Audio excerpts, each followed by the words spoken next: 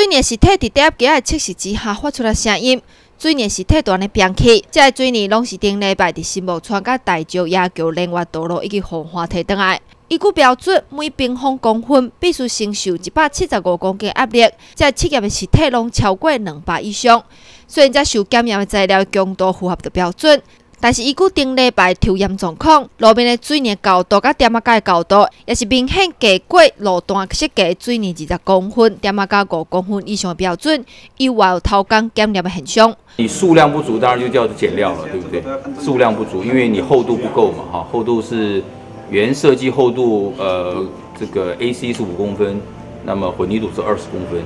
那那天我们量出来的部分的话，就是最后以试体来判断的话是十八公分左右，十八公分左右，所以厚度是不足。管护干部处表示，钢电会在弄新无穿产样，部分产样出现了路面的高度无够，其实这是一部分，未来后化加强。但是整体来讲，管会钢电拢是符合标准。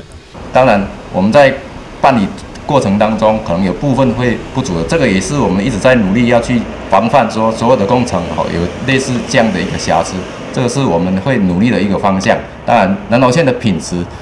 有一定的一个水准，这个我们都可以到好一一个我们相关的有相关的品管的一个一个